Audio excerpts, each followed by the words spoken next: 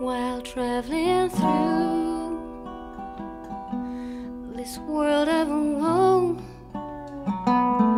Yet there's no sickness, toil, or danger